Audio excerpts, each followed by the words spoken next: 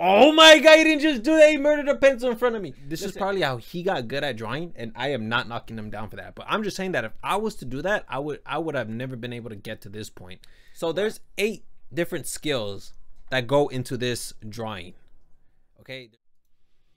I started how to learn how to draw and why you should learn or why you should. I started to draw when I was in my late 30s. I didn't go to art school. I just bought a couple of instructional books and I started out. and it was kind of a disaster. The first drawing I did was pretty bad. So was the second. And it seemed like I just had no ability to draw at all. And I almost gave up. Maybe this has happened to you and you're despairing of ever getting any good at drawing. Honestly, this never really happened to me. I just kept doing it. I didn't even think about whether I was getting better or not. I was just extraordinarily bored, and then I just ended up pulling out one of these babies. Look at that. Yeah, I ended up. Uh, this is what boredom will get you to. Like, if you're bored enough, this is what you can end up with. All right, um, let's go back to the video. Let me give you some reassurance. Oh, and by the way, yeah, I did draw that, okay? Just in case I wasn't clear enough, I did draw this, okay? I have a very, very absolutely cartoony style, so. And some tips. You can learn to draw. I know this because I learned to draw. And because I've also taught tens of thousands of other people to draw. It's a basic skill like tying your shoe or throwing a ball or driving a car. When you first learn to drive a car, you were probably pretty bad at it maybe you learned from your dad in the supermarket parking lot, sweating, gripping the steering wheel. A nightmare. And look at you today. You can drive any car anywhere. You're relaxed, confident, and it feels completely natural. What's up with the sound effects? and the same can be true of drawing. Let's start with motivation. Why do you want to draw? Huh? Maybe just because oh you my always gosh. wanted to. Or maybe you have an end goal in mind to do drawings of your dog to hang in the dining room. But there's a deeper reason for learning to draw. It can help you be more engaged with the world around you, help you see beauty that you might have missed, express how you feel about life. Drawing can reduce stress, help you feel happy, be more creative, solve problems better. There are just so many benefits to drawing maybe even as many benefits as learning to drive. But at first, you can't see all that because you're struggling with some basic technical skills and you're not happy with the results, which can lead to self sabotage. Telling yourself your drawings have to look perfect, just like photos. Anything less just proves that you suck, you have no talent, you're wasting your time. It's like you just took up jogging and you're beating yourself up because you can't win an Olympic marathon. Art can make us put insane pressure on ourselves, and we don't have to. To succeed at drawing, you just have to draw a lot. You can draw badly, and that's fine. Just keep at it. Because all this drawing is going to do something magical to your body. It's going to reconfigure your neuromuscular network. You're going to make changes to how your brain handles all that data that's coming in through your eyeballs and send signal to your arm and your hands and your fingers. As you develop these connections, your drawings will become more natural and intuitive, just like driving a car. It'll become more expressive of you as a unique person. That's how your style will emerge. How do you make neurons grow? By building a habit. That doesn't mean you have to practice slogging away at boring drawing exercises for hours every day. Instead, find ways of incorporating drawing into your everyday life. Get a sketchbook and carry it around with you everywhere. Draw all the things in your life your coffee cup, your sandwich, your napping dog, just ordinary everyday stuff. Now, you might be saying, I don't know how to draw a napping dog. Yeah, if, eh, okay, hang on a second. Like, I, I think this is good like i like listening to this because i already know how to draw but what about the person who doesn't know how to draw already like they're probably frustrated they probably don't want to like listen to this stuff they want to know what the secret is and what what what you got to do let me see what some of the people are thinking let me see that's really inspiring in my in my 30s myself and starting to draw, having not done any art since high school, I've been seeing major improvements after just a few months, and your videos have been a great way to keep the motivation up. I still really, I'm still really bad, but I can see that badness decreasing a little every time I take a swing at it. Thank you for making these videos, they help a lot. No drawing tips or tricks, no clickbait title, yet an extremely powerful drawing video, exactly what I need. Thank you. I mean, I guess, but like I remember one time I ended up finding this drawing video where like somebody was like talking about like I wish I could just find like the perfect like tutorial because nobody really knows how to teach it. And I agree with that. Not a lot of people know how to teach it. Now, I'm not saying that I could teach it better, but I do understand what I'm doing and what I'm drawing. Like for instance, right now, actually I'm I'm I'm I'm gonna go over this drawing right now. I'm gonna tell you what what I see that a lot of people don't see. So, luckily I have that drawing as my wallpaper. Otherwise, uh, I'd probably be talking nonsense. All right, let's finish watching the video. Or sandwich for that matter. And also, why do I want drawings of coffee cups and sandwiches? Stick with me. There are a couple of reasons to do this. First, learning to draw is mainly a matter of drawing a lot to grow neurons. There aren't magic tricks and shortcuts, no matter what certain YouTube videos might promise you. But you can do it. And second, you learn by making mistakes. Every drawing is just a series of challenges and problems that you work through. Yeah, but how do you work on those problems when you don't even know that you have a problem? Third, believe that you can get there and you will. You don't need talent. You just need to keep making drawings, even bad ones, even bad ones of tuna sandwiches. Speaking of, one of the many things that beginners struggle with is subject matter. Because when we look at what professional artists make art about, we figure those are the things that we're supposed to make art about too portraits, landscapes, still lives of bowls of fruit. Yo, that, that one looks sick. Assume that there are special skills and tools that you need for doing each of these sorts of drawings. We just need to take step by step lessons in how to draw portraits of fruit. Hmm, here's a more effective approach learn to draw everything. Draw the stuff in your life. Just carry your sketchbook with you, and whenever you have a spare moment, pull it out and draw anything that's nearby. Keep things relevant and interesting to you.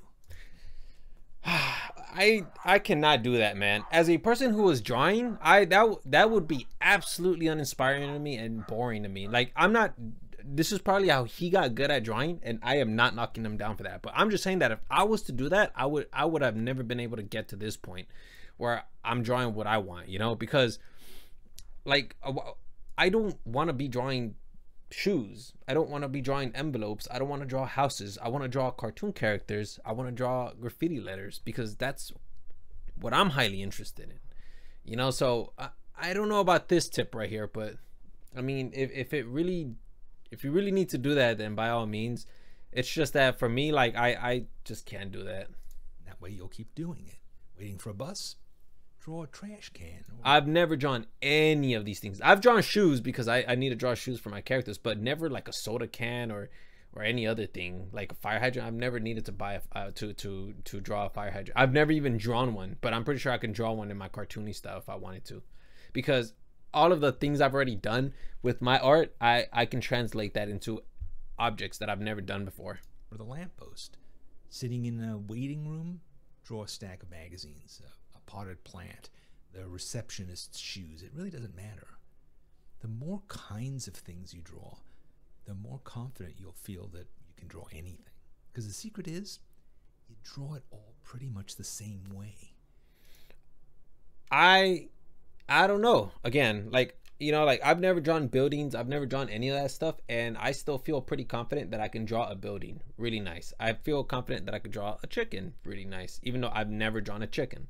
I'm confident that I can draw so many things that I've never drawn before because I know that if I can draw a cartoon character, most likely I can draw a chicken or whatever animal or whatever eh, inanimated object because I just I have the skills for it.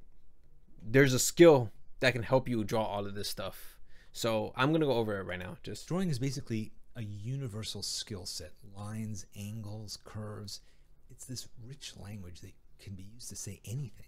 It's like a skeleton key that will unlock any subject. And you learn it by slowing down, by looking intelligently, and by translating what you're seeing into lines. There's so many benefits to carrying a sketchbook with you everywhere. You're learning to draw, building neurons. You're making a record of your life. You're living your life more intensely. Because as you look intensely, you're also recording those observations into your brain. You're creating much more vivid experiences and memories. And when you slow down to draw, you're doing the same thing that you do when you meditate or yoga or pray. You're focusing your mind, you're quieting all these other voices in your head, and you're experiencing things more intensely. Imagine if you could summon up memories from your last vacation that were like 3D immersive virtual reality recordings that include everything that you experienced in detail. Well, you will if you keep drawing. No lie, that book that he presented, this looks in detail. That looks pretty awesome, man. Include everything Look at that. experienced in detail. That looks awesome. I'm not gonna lie. That lighthouse on the beach but the next hotel. I like his handwriting. His handwriting looks like that of like a uh, greetings card or a happy birthday card. Looks pretty cool. You will. If you keep drawing. All right let's talk supplies. All you really need to begin this process is a basic sketchbook and a pen. Make sure your sketchbook is inexpensive enough that you won't be precious about using it. It's just paper. But also make sure it's a decent quality. So you aren't frustrated by your lines showing through to the next page. Pick the right size, make sure it fits into your bag or your pocket. It's going to be your constant companion for the next few months. It should fit you. Any pen is going to do, but you might prefer one made especially for drawing. They're not expensive and they're made to flow and keep their line consistent. What hey, I'll get I'll give you a tip, okay? One of the things I like to do is boom, this is my cup. I put it anywhere right here next to me.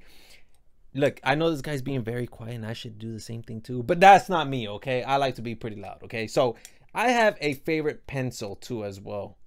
It's uh somewhere here, man. Where is it? Oh, it's right here. Right here. Look at this pencil. I've had this pencil for how, how, long has it been already? Like almost it's about to be almost tw 20 years already. Right now it's uh 13 years. I got this one back in 2007 or 2008. I don't remember when, but I've carried it ever since. And this was at almost at the very beginning of when I started to draw. And uh, it's been with me ever since. I think that if you're gonna be an artist or if you're gonna like do sketches or whatever, get yourself a pen that you're always gonna have a relationship with and like i know this is weird but like i feel like i'm married to this pen. Like this pencil knows me. This lead pencil knows me. And whenever i need to make switches that's why i got a lead pencil. Because if i ever need to make switches i could just take out certain pieces and just replace it. I have so many so many pieces to replace this pencil with just in case they get old but it's been the same ever since i gotten it. So it's a, it's a 0.9 never regretted it. But that's what that's one tip i would highly suggest you guys like make a relationship with the pencil. Like you for some reason it makes you want to draw more when you have a relationship with a pencil. Remember, there's no magic pen, though there are magic markers. Just try them out and work your way through lots of them. And why a pen, you ask? Why not a pencil with a big juicy eraser? Because you want to think about making lines, not erasing them. What? No, man, you want to erase them. I erase all the time. Look, um, respectfully disagree, okay? I'm not trying to say that he's dumb or anything. I think that he's very insightful, okay? But this is just my philosophy. I think that you should erase. Absolutely, because we all make mistakes. I mean, what, are you trying to tell yourself that you don't make mistakes at all? Like, I don't know. Like, that's just kind of like the what I'm priming priming myself for to kind of tell myself that I don't make mistakes. It's okay to make mistakes. You know, that's why I don't like to draw in pen. I usually draw in pencil first and then I draw in pen. Maybe it's not the best idea, but that's just how I like it. I like to I feel more comfortable when I draw like that. But I mean, what what do I know, man? I'm more of a digital artist. I'm not really like a traditional artist. I like more digital art because your your skills are amplified like by 10 times when you practice on on a digital surface. So, yeah. Commit to what you're seeing, and a pen helps you to do that. Lose the training wheels. Be brave. Wow. What are you trying to say, man? you may be resisting this, but trust me, I've taught thousands of people to draw with a pen, and they always end up thanking me for not letting them use a pencil. Oh my god, he didn't just do that. He murdered a pencil in front of me. Listen, um, yeah, I don't. Again, I don't draw in pens. I don't care to draw in pen. I do not care. Like I know it saves time, but I just truly don't care to draw in pen. I draw in pencil. It's the best thing I've ever done. I don't need to draw in pen to like feel good or do anything because I mean, like obviously, like you know, I'm very proud of my work. I love my work and I love it. So, and I don't need no pencil for that. So I mean, no pen for that. Uh, the pencil is good. Th these are some of my favorite pens that I like to use. It's like this Vertex V5. Oh, I mean, uh, not Vertex, uh, Precise V5s. Um, I, I, I like those. Um, I draw every single time. Uh, right here, look. This folder right here. Let's take a look at some of these. Uh, see, so I got like, you know, water gun right here. I did that in, pen, in, in pencil first. And then here's some graffiti letters. Uh, the letter B. You know what? What else do I got? I got a I got a paint sniper, right there, a paint rifle, whatever you want to call it. Uh, I got a couple of characters that I drew in pencil first, and then drew in pen. Again, because I feel comfortable drawing like that. I I don't know. It's up to you. Uh, Panda, my graffiti artist. Um, let's see what else. What else? What else do I have? I have here uh, Alice, one of my characters um, draw it in pencil, pen. I think you get the idea. So it's it's like I draw everything in pencil first, and then I draw it in pen. I just feel so comfortable like that because I like when my lines came come out really clean. It makes me it makes me hold it up more. Again, it's all about the method that you want to use. So go ahead find a method that you like. If you like using all pen and you that makes you feel like more of a artist or whatever the case is, then by all means go ahead and use that method. But for myself, and I'm pretty sure like other people who are going to discover their they're going to discover their own method throughout their journey, they're going to find out real fast that hey, you know what, man, it's, it's so it's okay to make mistakes. I don't have to draw in pen all the time. So okay, get started. Draw when you're watching TV. Draw while you're sitting in bed. Draw instead of looking at your phone. In time, you can think about how to shade and draw perspective and capture a likeness. None of those things really matter now. What counts is starting the adventure and building your confidence. And while you do this, please be good to yourself. Don't beat yourself up. Focus on making drawing a part of your everyday life. That will be success. And it's going to be awesome. I can't wait to see where it takes you. Have fun. I hope this was helpful. Okay, so it, it was just mostly philosophical. There was no, there's like no like real like grasp of like what what drawing is and and again like you know he did a great job i actually feel a little more inspired to want to draw but honestly like i'm not gonna go out of my way to go draw a shoe or any of that stuff uh, Sketchbook Skool um i've never heard of this guy before uh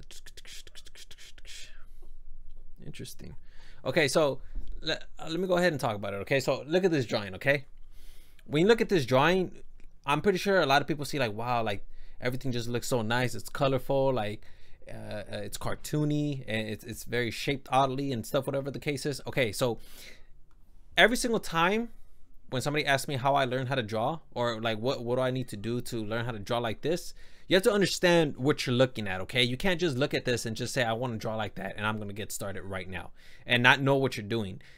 Right here, for instance, okay? You know how many skills I've combined to create something that looks like this? Okay? Let's see. Line work. That's our first actually, you know what? Let me let me see how many skills I can I can pull out, okay? So uh let me pull out my notepad.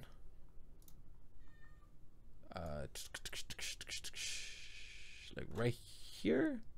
We'll put it right here. Nope. Okay. So skills. Okay, let's see how many skills we can point out. Okay, so oops, it's supposed to be one. Okay, so line work. That's the first skill. Okay.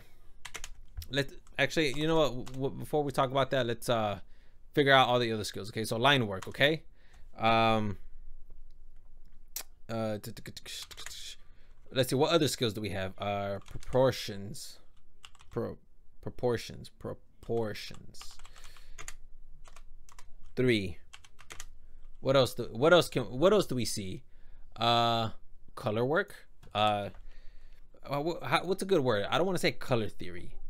Um, understanding of colors, color shading. Four.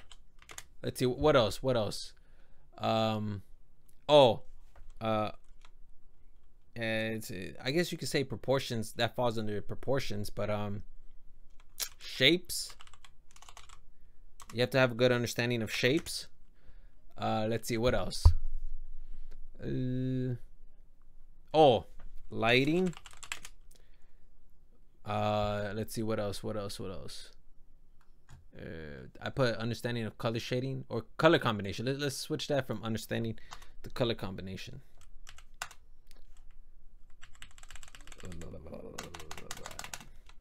Combination. And then of course, uh, we can't forget six. I don't know, uh, color theory. Okay, color theory is more of like understanding how the colors make you feel. Okay, that it's not the same thing as color combination. Uh, let's see what else. What else? Oops. Let's see. Uh, what else is there? What else is there? What what else can we see? Um, we got lighting. We got line work, proportions, color combinations. Uh, style is not a a skill. Um, what what is it called? Oh, uh, the understanding of how an object is supposed to feel or or be like. Um, spatial intelligence. I don't I don't know. I'm just gonna call it that just for a lack of a better term. Intelligence.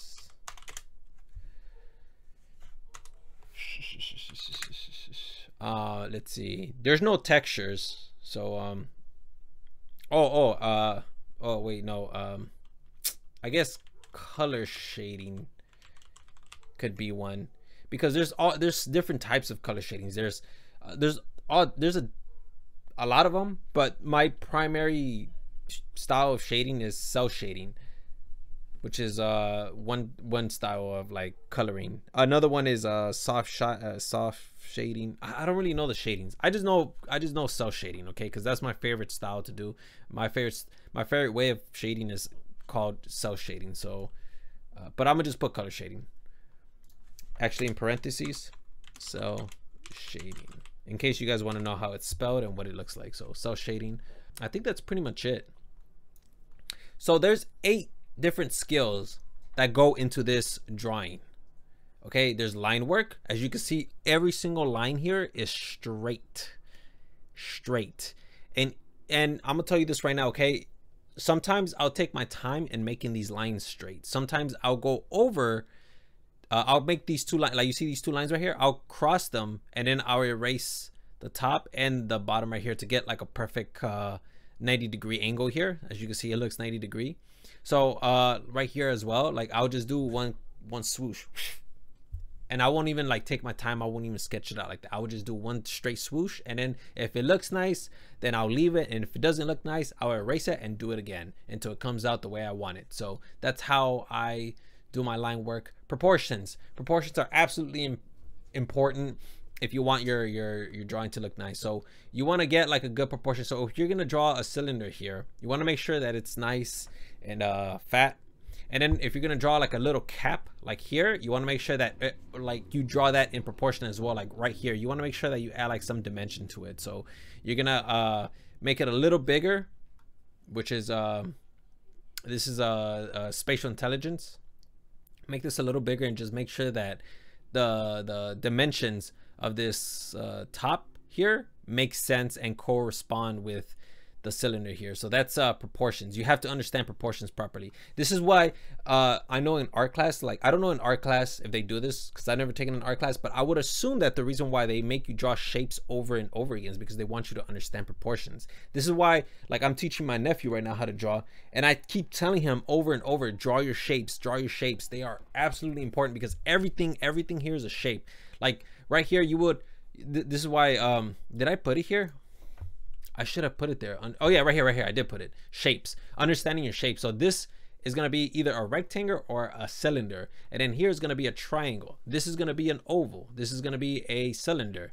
This is going to be another cylinder right here. This is going to be a, a, a square, not a squared, a rounded rectangle. Another rectangle here.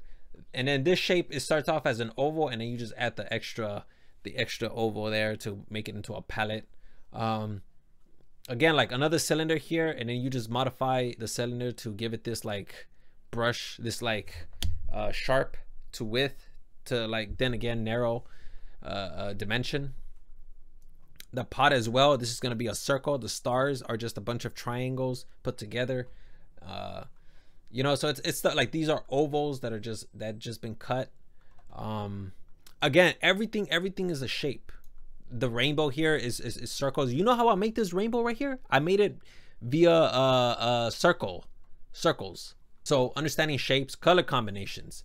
When you're looking at this, you have to understand like what colors you're going to use what colors go well together what colors usually the way you learn uh the colors is by just picking up a couple of colors that you like a lot so like for me my favorite color here if you look at it closely what color is the one that that sticks out the most to me it's the pink the pink is the one that that stands out the most and that's because that's one of my favorite colors the next favorite my next favorite color is purple but there isn't a lot of purple here but like usually i always start off with the pink that's my favorite color to start off with. And then from there, I would decide what other colors I use. I've always made this a rule whenever I draw. There always has to be some pink in a drawing. And then from there, I always end up like coming out with colors that I like. So usually I like to color uh, decorate my entire drawing with different colors like it is here because I just like to use a lot of colors. Um, but usually normally I will start off with pink and then that's what will determine what colors I use. This castle wasn't even this color. It used to be gray, but because I saw that the pink wasn't wasn't going well with the gray and the gray wasn't going well with the other colors, I had to change it. I changed it like about 30 times just to get this this good color. It's like a light purple, like a weird light blue purple. It's very odd. I've never used this color before, but because I was just digging around to see what color would go well, it took me about like 10 minutes to even discover this color. So don't think that you have like this preconceived notion of what colors go well together.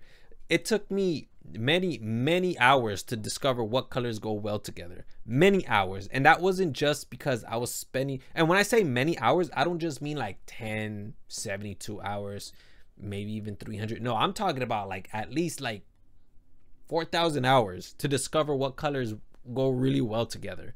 And these are the colors that I feel go well together. Get it? Get that? I feel go well together. Another person will say that those colors don't go well together. Hey, those colors go well together for me. So I like those colors. Go ahead and choose any colors you want and just mess with those colors. Lighting. This is the other scale. Look at the lighting here, okay? We know that the light source is coming from this side because the way everything is being shone. Look at this. Look at this. Look at the shading, where all the shading is at. All the shading is down here on the on the on the lower right hand side everything is heading this way. And that's because the light is coming from this side. See it? The light is coming from this side. It's shining upon the entire castle like this. So that's why you want to have the you want to understand lighting. If the if the lighting if you're going to want the lighting to come this way that means all your shading has to be the other way. Just think of it this way. The shade the if you're gonna mess with just one light source it's just gonna go straight down like this. Middle if it's on this side the lighting is gonna go this way. All the shadows are gonna go this way. If the lighting's here all the shades are gonna go that way. If the shade if the light source is here all the shading is gonna go downwards downwards. And if you have multiple lighting if you have lighting from this side and you have lighting from this side the the uh, depending on which one is stronger it's gonna determine whether what light where, where the shades are gonna be. You know so something uh something to just look for. This right here i actually you know what? Now that i think of it now that i look at it it's actually incorrect. These lights these right here should not be that color. These should be even lighter but i, I messed up. Uh mostly because i just wanted to finish this drawing because i was so tired of it but yeah these these shadings right here are incorrect. They're supposed to be a, of a lighter color so i messed up. Um but you'll see it we we everybody makes mistakes dude. Everybody still makes mistakes. There's not one person that doesn't make mistakes in their drawings. Yeah i made a mistake okay? Everybody makes mistakes. So just want you to know that like if anybody tells you that no my work is perfect there's a mistake in there somewhere. There has to be. Um, okay so uh, color theory. Color theory. How a drawing makes you feel. I knew that using these colors like super bright colors that this was going to produce some like cartoon cartoony style here which is uh what i wanted. I wanted to like give off like that very cartoony style. So using these bright saturated colors, it did the trick. At the same time, I'm not surprised that it worked out the way it did because I've already been drawing cartoons for so long. So I know these colors work really well when it comes to cartoons. So color theory, spatial intelligence, understanding how uh, how something is gonna look. Um, like this trumpet here, I honestly don't even know what instrument that is. Spatial intelligence, understanding understanding like like the things like these pencils look super flat. They look flat you know? But i didn't really care because i wasn't trying to go for like a super like expressive look. Again like um this is something that i just wanted to finish. Like even these lines weren't even that well defined because i just wanted to finish the drawing. The white doesn't uh, this black does not go with the background. I just left it black because again i just wanted to just finish it. I was kind of tired of it. Um uh understanding oh like reels right here. You see this reel you see how there's like this film in here and then the film is apart here and then there's another film that's apart from this this one? That's like adding uh space let's like uh, adding this spatial element to it. Uh seeing through this um cavity here to see the other side to see the the black entrance of the castle and then seeing the other side of the of the film that's spatial intelligence. Uh let's see what, what's another example of spatial intelligence? Um the film going here behind the castle and just kind of like wrapping around that's another that's another uh, uh example of uh, of uh, spatial intelligence. But at the same time i kind of messed this up. It was supposed to go the other way. But i don't know. Uh the film's going back here as well. You see how there's like this foreshortening and then it just kind of like gets smaller and smaller all the way until it goes into the back. That's spatial intelligence as well. Again there's a lot of mistakes in this drawing now that i look at it but uh yeah. Um i just like to draw for fun so. Uh color shading right here uh choose your your your style of shading. If you like uh cel shading like the way i shade this uh, shade the way you want. Uh the way this is done is just you just use one one color. That's it. That's what i like to do. I just like to use one shade of color. Technically this this gives it like a very very like flat there's like no depth to it see if you if you just do one shade which is what i like to do because that's that's what i like to do and i don't really care um you would see that like here um there's supposed to be another shade here because it's it's it's already shaded because of the light and then there has to be another shade because of the castle and because of the youtube logo here there's supposed to be another shade but i didn't add that I also didn't add it. You see how there's a shading here, but there's no shading here. I forgot to add a shading there. Um, I forgot to add a, like a little bit of shading here to add depth to it. And uh, there's no shading here, which there should have been. No shading here either. So, uh, and then like this here is supposed to be, this shading supposed to be like this. And then there's supposed to be like another shading that starts from here so then we can indicate, or here, like actually closer to the pencil. So we can indicate that this element is closer to the pencil than the star is to the pencil. So that's that's uh, uh, spatial intelligence. That's another skill. So these are all uh, these are all the skills that um, I use to make this. So if I was you, I'd learn how to practice line work, sit there, the best way you could do this is by combining line work with shapes and having control, knowing and judging when to stop it. So line work, shapes, and then color combination. Uh, get some crayons, get some color pencils, get some markers, and then start like start off. Always start off with the light color, and then work your way with the darker color. That's how you do. Uh, that's how you practice your your shading with markers, and then uh, depending on what kind of style you want to shade, whether it's soft shading or color shading, uh, you're gonna have to learn those techniques. With color shading, uh, it's just one shade. Uh, it's not it's not too bad. Uh, color theory if you want to understand colors just think about what what colors you think of whenever you think of like certain landscapes or whatever like if you think about like uh, winter we'll think of blues whites when you think of hell you think of red oranges when you think of a uh really hot desert you think of orange, light green, uh, black because of scorpions, um, light brown. So stuff like that. Think about like that kind of stuff. Think about what style and what whatever you're trying to draw, what colors would it exude? What makes it feel like it would be those colors? So yeah, anyways, these are like skills, all the skills that I use for this drawing. Take a good look at them and practice them. Proportions, you practice that with sh with shapes. Line work, you practice by by controlling your your line work, your your lines by swooshing them. Uh, color combination, pick out the colors you like and understand your colors that you like. Uh, lighting, uh, understand the sources of light, how how they uh, interact with each other. If you're gonna have multiple sources of light, understand where the shading is gonna be. Uh, take a a look at, at you, you see that like you see how it's being uh, lit lit by both sides. We know that the shade is gonna end up somewhere in the middle which is correct to assume because if you look at the middle of my um of my fist is shaded in except there's like a rim here and then there's a, a, a rim a rim here. So the shading is going to be right here in the middle. So understand your sources of light how you're gonna how it, it affects the drawing and then uh, you'll have a much better um, understanding as to what to draw how to draw it and yeah hopefully this helps man. Uh, i know there's a lot of people out I know there's a lot of people out there that want to know how to draw. What is it that they have to work on? This is what I recommend you guys work on. These skills. These skills are absolutely important. So yeah, I've already done enough rant, dude. I, I gotta shut up. This is already a 40 minute video. So yeah, anyways, yeah, I, that's pretty much it, guys.